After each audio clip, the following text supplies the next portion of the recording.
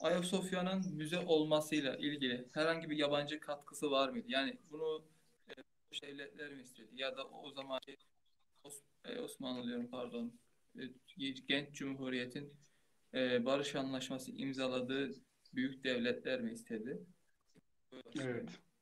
Tabii burada yabancı etkiye dair çeşitli alt başlıklar oluşturulabilir, alt sorular oluşturulabilir. Yani ilk olarak işte Lozan'dan kararlaştırır. Lozan'ın gizli maddelerinden birisi miydi? Hep öyle denir ya işte madenlerimizi 2023'te işletmeye çalışacağız. Halbuki otobüste uçakla gittiğinizde Anadolu'nun birçok yerinde değil mi maden işletmesi vardır.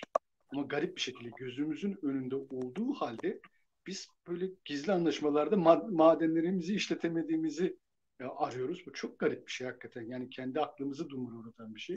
Bunda, bu da böyle. Yani Lozan'ın gizli anlaşmalarından, maddelerinden birisi Ayasofya'yı e, kilise yapmak veyahut da cami olmaktan çıkarmak yönünde bir iddia bu.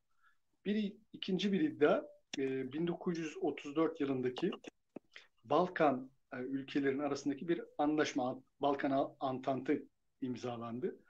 E, dolayısıyla Hitler e, tabii Avrupa'da sivrilmeye ve Avrupa ülkelerini tehdit etmeye başladığında Hitler e, tehdidine karşı Türkiye'de güvenliğini sağlamak e, için Balkan ülkeleriyle e, onların istekleri yönünde yani neydi onların istekleri? İşte Ayasofya'nın e, kilise yapılması veyahut da en azından oranın e, cami olmaktan çıkarılması. Dolayısıyla Balkan ülkelerini ikna etmek, Hitler'e karşı bir anlaşma için ikna etmek üzere bir taviz olarak e, değer iddia edildi.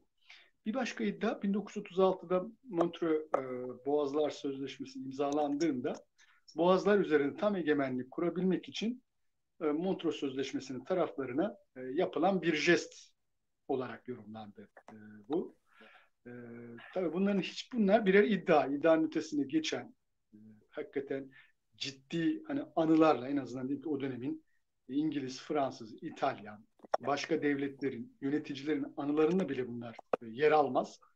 Ama e, hasbel kader Necip Fazıl yazmıştır bunu. E, ondan sonra bu silsile halinde gelir. Yani oralardan yapılıyor işte Kadir Mısıroğlu, sonrasında Yavuz Bahaduroğlu ve bugün işte Mustafa Armağan e, ve bu kesim daha çok bunu gündeme getirir. Ben de kitapta buna yanıt verdim. Bir delilleri falan da yoktur. Lozan Anlaşması'nın maddeleri ortadadır. İnsanlar internetten indirip Lozan Anlaşması'nı okuyabilirler.